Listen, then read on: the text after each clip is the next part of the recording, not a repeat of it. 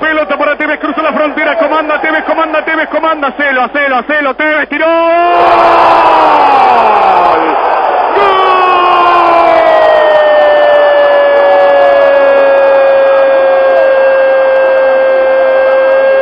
¡Gol!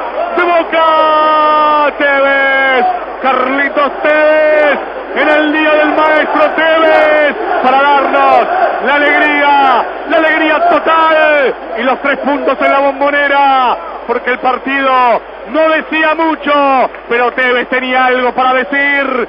Corrió, guapo, levantó la cabeza y desde la media luna, con gran categoría, abrió el pie y la colocó contra el caño del guante izquierdo de Olave. Y Boca, y Boca en 33, clava el primero. Carlitos, Tevez, en el día del maestro. Carlos como Bianchi. Carlos como Gardel. Carlos como Tevez. El más fuerte. Gana Boca 1 a 0.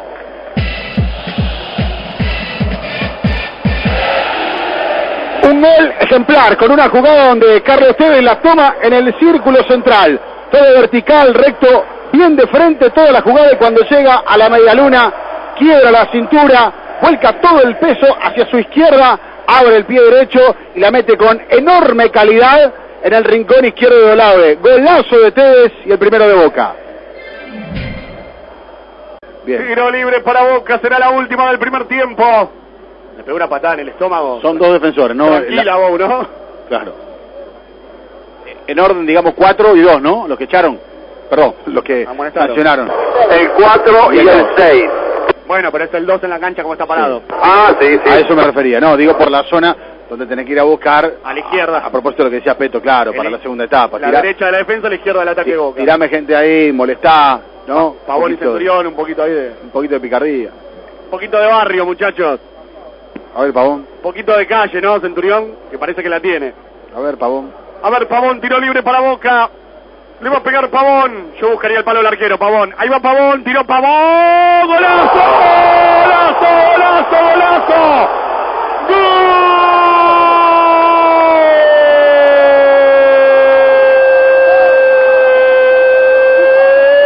¡Gol de Boca!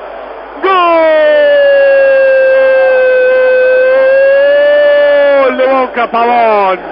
Pavón, Pavón, qué grande sos, pero qué golazo, Pavón, la colgó del ángulo, la clavó contra el travesaño y el guante de Olave, y Boca, y Boca con el tiro del final, le gana 2 a 0 en el primer tiempo Belgrano de Córdoba, gana el Geneise, con uno menos, con mucha precisión, con mucho coraje, Pavón, para colgarla del ángulo. En un tiro libre, excelso, Boca 2, el pirata, con cara de malo, con parche en el ojo y con pata de palo, es el Geneise, el verdugo de Belgrano, gana Boca 2 a 0 y termina el primer tiempo.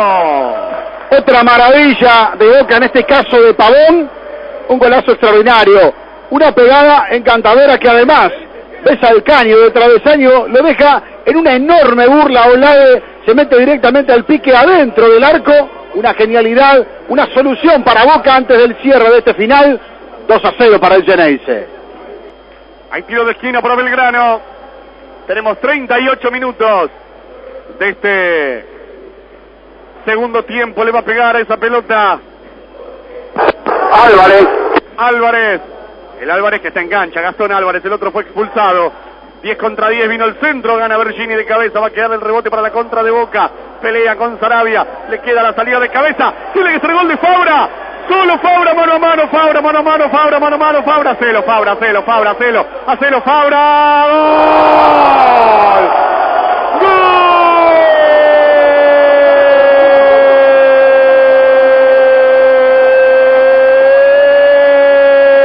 ¡Gol de Boca! Fabra, Fabra en una corrida memorable y ahora baila. Baila negro, tira pasito, Fabra, festejando con la bombonera. En una corrida inolvidable de Fabra, el colombiano se fue mano a mano, enfrentó al ave y la cruzó sobre su palo opuesto en la estirada estéril del arquero cordobés. La tricota porque la noche se puso fría en la bombonera. 3 a 0. Frank, Fabra y tu mejor melodía, la de la zurda limpia para el tercero de Boca.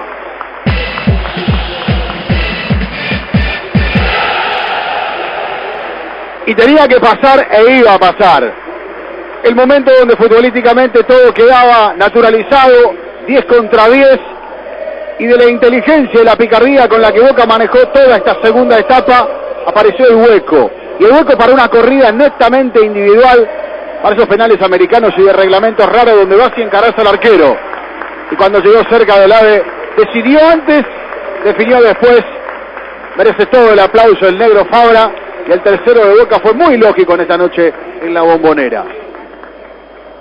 Pablo Pérez para Zucchi, la domina Zucchi, se viene Zucchi, va Zucchi, falta, se levante, dijo el árbitro, la pelota la tiene en el fondo, el jugador que era Beldaño, la revolea para Óbolo, vamos Mauro Iván, Óbolo por la pelota, gana Bergini, la tiene Bergini, mete un taco para Pablo Pérez, la tiene Pepe, Pepe juega al medio con Cuba, señoras y señores, ha ganado Boca, 3 a 0 en la bombonera, el equipo de Guillermo Barros Echeloto, con un buen pasaje de fútbol, por ratos en el primer tiempo, con un planteo muy inteligente, con un jugador menos en el segundo, se queda con una victoria categórica e irreprochable. Tres para Boca, Tevez, Pavón y Fabra, cero para Belgrano. Ahí está Boca, festejando en el medio y esperando el saludo del público, Javi.